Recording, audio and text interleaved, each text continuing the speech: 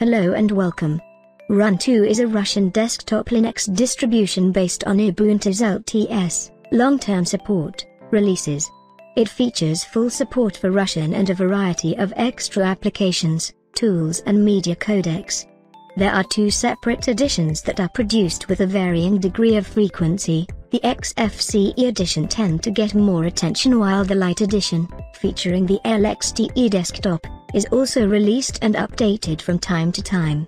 The release of the 32-bit distribution of Runtu Lite 18.04, which is based on the Bionic Beaver 18.04 LTS package release base, is presented.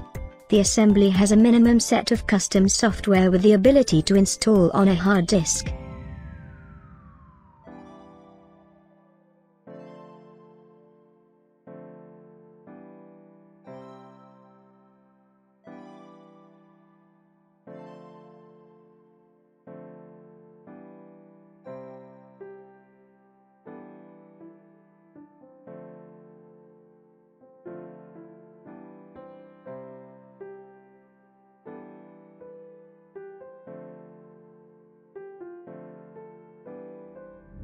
あ。